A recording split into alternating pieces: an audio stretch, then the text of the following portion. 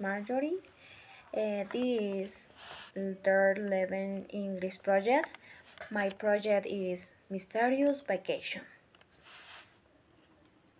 When I was 14 years old, I loved going to my grandmother Esther's house, my cousins.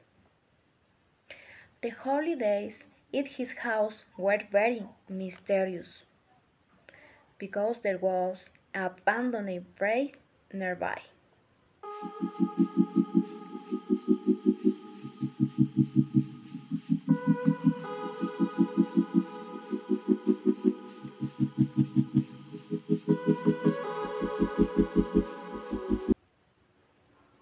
With my cousins, we knew how to go to that place and told stories of ghosts and goblins. One afternoon, they went down to the abandoned place, so they left me behind.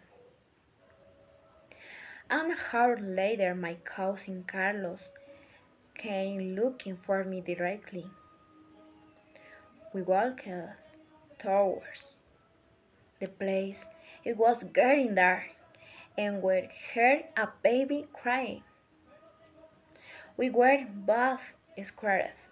Suddenly, we turned around and saw something coming out of some bushes.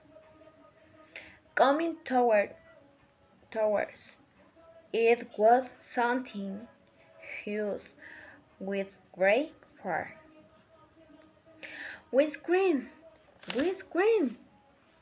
My grandmother heard the scream and came soon and we raised that it was not the cry of a baby, but a cat howled my cousin and my grandmother loud.